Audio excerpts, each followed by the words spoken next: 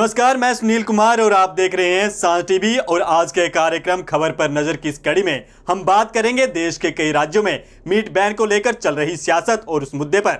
आपको बता दें कि जैन धर्म के त्योहारों की वजह से मीट की खरीद प्रोक पर छत्तीसगढ़, पंजाब और हरियाणा के कई राज्यों में बैन लग चुका था। मुंबई की दो नगर पालिकाओं ने गुजरात के अहमदाबाद और राजस्थान में त्योहारों के चलते पहले ही मीट पर बैन लगा चुका है। छत्तीसगढ़ सरकार ने मास्क की खरीद प्रोक्त पर नौ दिनों के लिए बैन लगाया था। जैन समुदाय में प्रयूषण पर्व के गणेश चतुर्थी को देखते हुए प्रदेश में 18 सितंबर तक जानवरों को काटने और मांस बेचने की खरीदने को लेकर बैन लगाया हुआ था। मुंबई में मीट पर बैन दो दिन कम कर दिया है। वहीं 13 और 18 सितंबर को बिक्री ले, को लेकर बैन लगाया गया। मीट बैन के खिलाफ दायर एक याचिका में बॉम्बे हाई कोर्ट ने सुनवाई की और उसने मछली खरीदने की सलाह दे डाली। आइए इससे जुड़ी देखते हैं एक रिपोर्ट। उल्लेखनीय है कि जैन समुदाय के पर्यूषण पर्व को लेकर मटन पर चार दिन के लिए बैन के खिलाफ मटन कारोबारियों ने कोर्ट का दरवाज़ा खटखटाया था। अदालत ने महाराष्ट्र सरकार से पूछा कि जब आप अहिंसा की बात करते हैं तो फिर मछली सी फ़ूड और अंडे पर बैन क्यों नहीं लगाया गया? अदालत ने इस पर सवाल में जवाब में कहा कि सरकार की मिटन और मछली में फ़र्क है। सरकार शीर्ष वकील अनिल सिंह ने कहा कि मछली को जैसे ही पानी से निकाला जाता है, वह मर जाती है। इसलिए हमने कोई बद शामिल नहीं है। उन्होंने कोर्ट में समक्ष के स्पष्टीकरण दिया कि उसका आशय था कि बद नहीं होना चाहिए। इस बयान का विपक्ष ने ही सत्ताधारी बीजेपी के सहयोगी शिवसेना ने विरोध किया है। कोर्ट में सरकार ने बैन के पीछे तर्क पर सवालों का सामना करना पड़ा। जजों ने कहा कि वैश्वीकरण के मद्देनज़र हमें अपने नज़रिए में बदलाव लाना चाहिए। अपने कदम को सही ठहराते हुए सरकार ने कहा। सुप्रीम कोर्ट में इस फैसले में कहा गया है कि हम समुदाय विशेष की भावनाओं का सम्मान करते हैं। इससे कोई फ़र्क नहीं पड़ता कि मुंबई में जैन समुदाय के लोगों की संख्या कम है। विपक्षी कांग्रेस और एनसीपी के अलावा बीजेपी के सहयोगी शिवसेना ने आरोप लगाया है कि 2017 में स्थानीय निकाय चुनावों को ध्यान में रखकर बीजेपी जैन समुदाय की तुष्टिकरण की कोशिश कर रही है। पर्यूषण के दौरान मीट पर उन्नीस सौ चौरानवे से शुरू हुआ बैन और आज समय तक कांग्रेस सरकार थी। अधिकारियों ने बताया कि 10 साल के बाद भी बैन को बढ़ाकर चार दिन कर दिया गया था, लेकिन असल में कभी लागू नहीं किया गया। गुरुवार को जब बैन पहले मीट में लागू किया गया तो कई दुकानें खुली थी, लेकिन सरकारी बुच्चड़खाने बंद रहे। ब्यूरो रिपोर्ट, साँझ टीवी। वहीं बी बैन का मामला मुंबई से चला था और पंजाब हरियाणा देश के उत्तरी हिस्से तक पहुँच गया। मीट बैन को लेकर यहाँ पर प्रतिबंध लगाया गया और जम्मू में भी ऐसा ही हुआ। पंजाब के लुधियाना में सत्रह सितंबर को मीट और अंडा नहीं बिकेगा। ये निर्णय पंजाब सरकार द्वारा लिया गया। वहीं हरियाणा में एक षड्यंत्र के चलते 11 और 19 तक स्टोलर हाउस बंद रहे और मीट की बिक्री जारी रही। आइए देखते हैं इससे जुड़ी एक रिपोर्ट। वहीं पंजाब के लुधियाना में लोगों की धार्मिक भावनाओं को देखते हुए ये फैसला लिया गया है कि इस दिन धारा 144 लागू रहेगी। इसके लिए तहत मीट, अंडे की दुकानें, रेहड़ियों और बुच्चड़खाने बंद रहेंगे। के रखने के लिए कहा गया, होटल रेस्टोरेंट और ढाबों पर भी मीट, अंडे पकाने और सेवन पर मनाही रहेगी। हरियाणा प्रदेश सरकार ने गत छब्बीस अगस्त को इस संबंध में एक अपील की थी, लेकिन शुक्रवार को कई राज्यों में स्थानों पर मांस की दुकानों के मालिकों ने नौ दिन तक दुकान बंद रखने के लिए लिखित आदेश मिले तो मामले की तूर पकड़ लिया था, जिसके बाद ये ऐलान किया गया था। पंजाब के कुछ राज्यों में मीट पर पाबंदी के विरोध में संबंध में महावीर भगवान सेवा संस्थान के प्रधान राकेश जैन ने कहा कि जैन पर पर दशकों से मीट पर प्रतिबंध लगता आ रहा है। इस पर मामले में बेवजह तोल देकर राजनीति को हो रही है। लुधियाना में केवल एक दिन के प्रतिबंध की मांग की गई थी और प्रशासन ने इसे मान लिया है। भाजपा की महाराष्ट्र सरकार आजकल मछली, मुर्गा और बकरे के मांस को लेकर और गुजरात सरकार गौमांस को लेकर काफ़ी मुश्किलों में है। जैन समुदाय में अशान व्रत और मुंबई में चार दिनों के लिए भाजपा की ओर से मीट की बिक्री पर प्रतिबंध लगाए जाने से भाजपा सरकार की साझेदारी शिवसेना को लुभाने और धार्मिक आतंकवाद का आरोप लगाया है। जहाँ तक मेरी इल्म है, कुरान में ऐसी कोई बात नहीं कही गई है, लेकिन मुस्लिम जो बादशाह रहे हैं, चाहे मुस्लिम उलामा हैं, सबका ये मानना है कि हमें गाय का गोश्त नहीं खाना चाहिए, बीफ नहीं खाना चाहिए।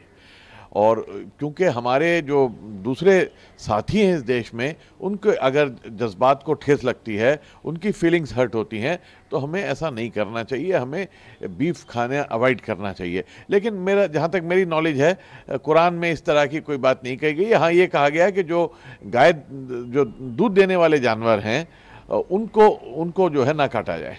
The Gujarat government have given these uh, advertisements in the UAE papers when the Prime Minister had visited Dubai and was singing paeans of uh, the Sheikh of Dubai and the Sheikh of Abu Dhabi. Question is not whether somebody should eat beef or not.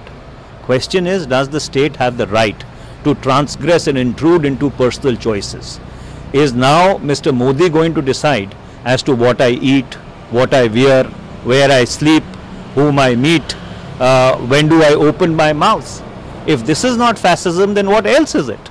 And it is high time that progressive nationalist and secular forces come together in order to save this country from the specter of dictatorship which has now come to haunt it. This is very, uh, very sad and it's very bad in fact for the Indian people in fact that the people are quoting uh, the Quran Majid without any relevance, without any reference and without any authenticity.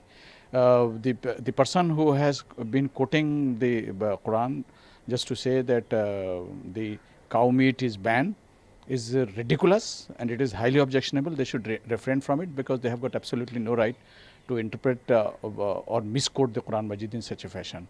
Quran has very clearly said about what to eat, what not to eat.